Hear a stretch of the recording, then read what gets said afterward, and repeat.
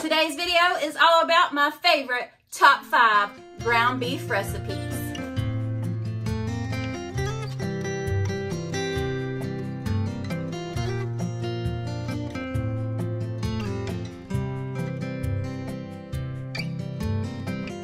Hey y'all, I'm Sammi and welcome to my kitchen. Today I'm going to be sharing my top five ground beef recipes so far of 2024. So sit back and relax, grab you some sweet tea, and let me do all the cooking. Come on y'all, let's go. All right, y'all, we are starting this one out with a bang with some crack burgers. Y'all, these are so addictive, but absolutely delicious perfect for summer evening for supper. So starting out, I've got two pounds of ground beef in my bowl. I'm going to take two cups of shredded cheddar cheese along with one cup of sour cream and one package of the um, dry Hidden Valley Ranch, or as you can see in my case, I use the Great Value Ranch seasoning. And then one whole container um, I think it's 2.5 ounces of the real bacon pieces. Then you dump all that cheese in there. And now we're going to season it up with some, y'all guessed it, Badia Complete, some garlic powder and onion powder, and also some salt and pepper. Just a little bit of salt because you've got the bacon and the cheese in there that's got the salt in it. We're also going to throw in a little bit of this adobo seasoning and we're going to use the best tool that God ever gave you, which is our hands. But trust me, you don't want to over mix this because you don't want them burger patties to be tough. Then I just put them into about a quarter pound patty each and Always make sure you put your dimple in the middle of your patty right there. Just helps with it shrinking too much and it actually does keep the toppings on the burger better. So now we'll just put them into a large skillet and cook them until they are nice and golden brown on both sides, which typically takes about five to six minutes on each side. If you like your burgers a little bit medium, just cook them less. But as you can see here, when I'm flipping them, you can see that nice and golden brown color. And that is exactly what you want. Say hi to Peppy. He's peeping out the corner. but now that I got all of those burgers browned up, we're just going to go ahead and serve them however you want. I just put a little bit of mayonnaise, lettuce, and tomato on mine Gosh, y'all, these are the best. And I served them up with a side of tots. Can't go wrong with that. Next up of my top five are these stuffed peppers. And let me tell y'all something, they are absolutely amazing. So, so good. And you can even make these in a crock pot instead of putting them in your oven. So I thought I'd throw that out there a little bit. So into our skillet, I've got one pound of lean ground beef. We're to season that up with some Badia Complete and some chili powder. About a teaspoon to a teaspoon and a half of each along with some black pepper and some salt. Those are each about a teaspoon as well. Now you could always cut down the salt if you needed to, but I just gave that a little bit of a mix through. Poured in about a half a cup, uh, well, a quarter of a cup of chopped onions and about two tablespoons of minced garlic. We'll give that a nice stir together. Now we're going to add in 8 ounces of tomato sauce. If you have home canned or any other kind that you like, please feel free to dump that in there, along with 2 cups of cooked um, I did use the instant rice on this just so I could get it done faster, but two cups of the white instant rice cooked. Then while that was sitting there simmering, I went ahead and cut and de-seeded all of my peppers. I just cut them in half. Um, that way they would lay flat. I'm going to fill every one of these up to the top, all the way up to the top, and then we're just to top them with some cheese. Now, if you don't like your peppers to have a crunch on them, go ahead and put them in the oven and let them cook a little bit first and then put them into a 350 degree oven. Once you have the cheese on them, cook these for about 15 to 20 minutes and then you can put it on broil and let that cheese get nice and golden brown and delicious. Y'all must give this one a try. So good. Now we're rolling right along with a smash burger tater skillet. Y'all know this one is the absolute favorite of the house because my boys tore this one up. so starting out, I cut up three large russet potatoes just into some cubes. Season that with some paprika, garlic, well, let's see, garlic and onion powder and some pepper. Put that in some olive oil, toss that, and cooked it at 400 degrees for about 20 minutes. Then into a skillet, I took two pounds of lean ground beef and literally smashed it into the bottom right there.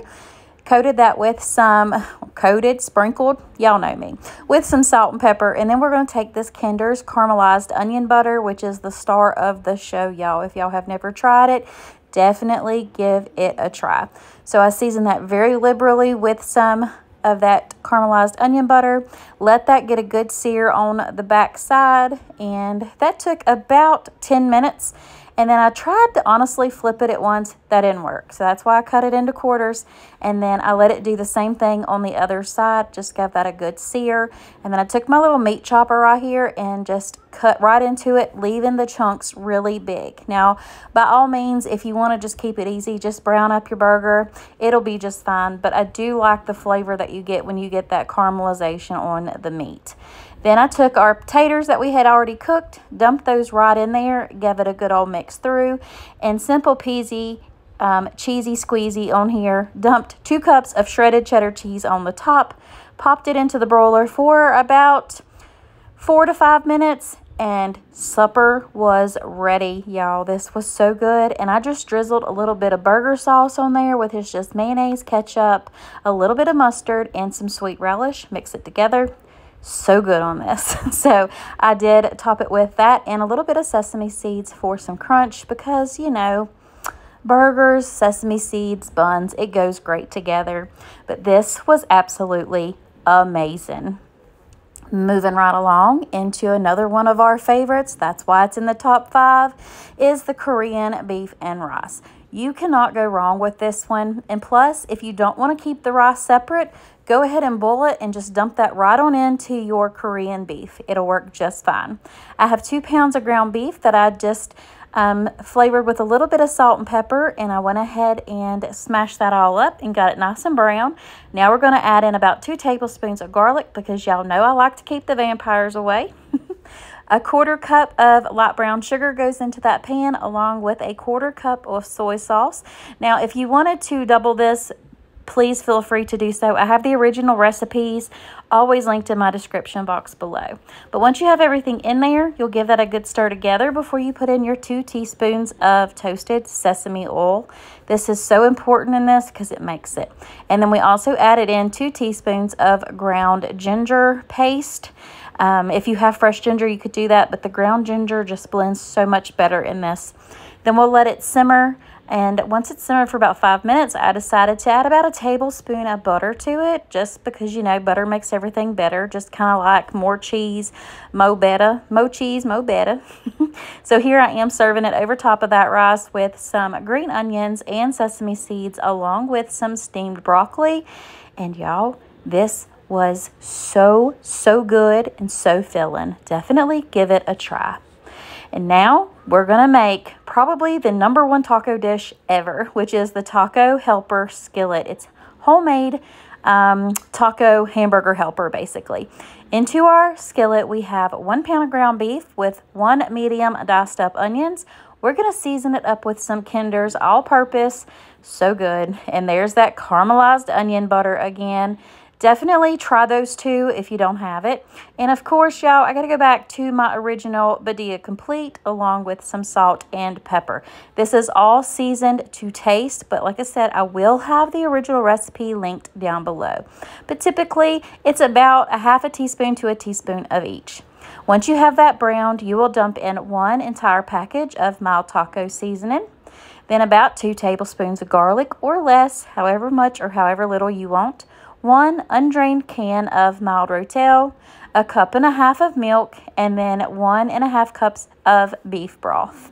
Then you'll add in two cups of the spiral um, noodles or whatever pasta you wanted to use. But I do love the rotini noodles and penne would also be good in this.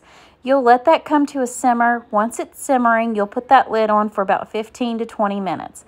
Then you will see that almost all of that liquid has gone out of the skillet we're going to come in with about a half a cup of cream to about mm, a three quarters of a cup.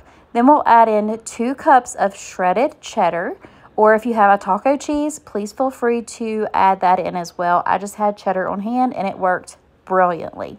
You'll give that a good old stir until it is nice and creamy, just like this. And y'all, oh, To serve it up, just put some cheese on there with some sour cream, some taco sauce, some maybe some fresh cilantro. You could even do crushed up Doritos on top of this to give it a little bit of crunch. It is mouth watering, let me tell you. It is so good and it's deliciousness on a plate. Now, the real reason you're here, let's get right on into these bloopers, shall we? Not too many this week. One try, baby, one try. Whoop. I was relaxed. I did it, but I have to give y'all something to watch at the end of the video. Just thinking. Ah, oh, pat on the back, Sammi. Pat on the back. Y'all have a blessed day, y'all. Love you. If you like today, nope, nope, nope. All right, y'all, that is it for today's video. I truly hope you enjoyed it. If you did, give me a big old thumbs up. Leave me a comment down below and hit that or smash it, mash it, whatever you want to call it, red subscribe button and become part of my YouTube family. If you are in need of prayer, please let me know down below and I would be honored to pray for you all. And if you need some other meal ideas, check out these other two videos on your screen right now. Until next time, God bless.